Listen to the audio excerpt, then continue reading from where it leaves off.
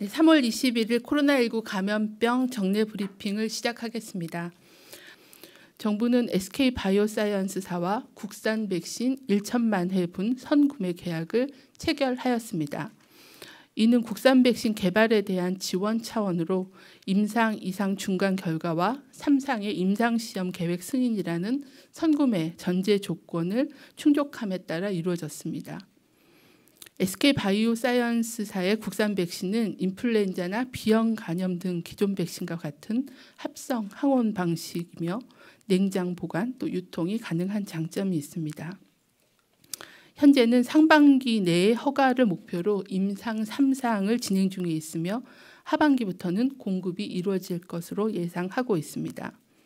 또한 정부는 SK 바이오사이언스사의 백신이 국산 1호 백신인 만큼 국내의 다른 기업들이 후속 백신을 개발하기 위한 대조 백신으로 제공이 가능하도록 협의하였습니다.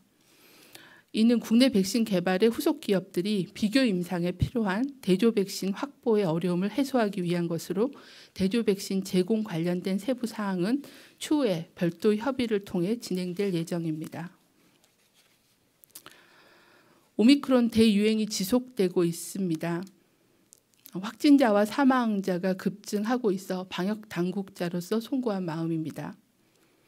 3차 접종과 오미크론 변이 유행으로 중증화율이 낮아졌지만 고령층 확진자의 규모가 급증하여 급증하고 있어 3월 말, 4월 초 중증 환자와 사망자가 지속 증가하고 의료 대응 체계에 큰 부담을 초래할 위험이 높은 위기 상황입니다.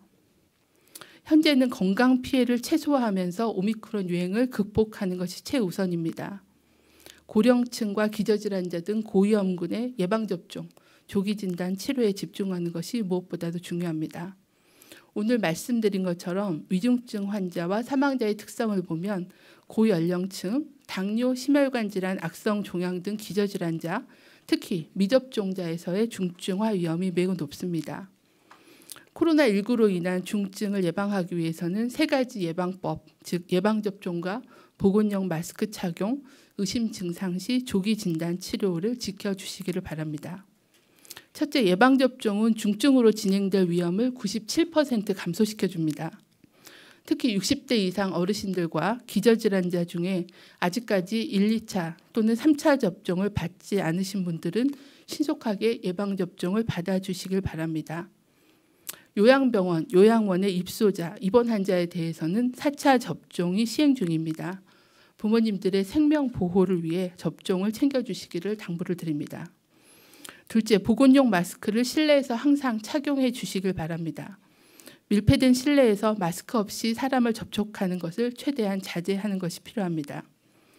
셋째, 특히 고위험군은 인후통, 기침, 객담 등 의심 증상이 있으면 지정 의료기관 등 진료를 받거나 60세 이상은 보건소에 PCR 검사를 받아 조기에 진단하고 신속하게 투약을 받아주시기를 바랍니다. 국민들께서는 가족이나 지인 중에 혹시 고위험군이 있는지 다시 한번 살펴봐 주시고 건강 보호를 위해 예방접종과 조기 진단, 치료를 챙겨 주시기를 당부를 드립니다. 의료기관에서는 코로나19 검사와 함께 환자의 진료와 처방으로 국민들이 안심하고 건강을 회복할 수 있도록 세밀한 환자 관리를 요청드립니다. 방역 당국도 안전한 예방 접종, 치료제와 병상 확보 등으로 고위험군 보호에 역량을 집중하여 대응하겠습니다. 이상입니다.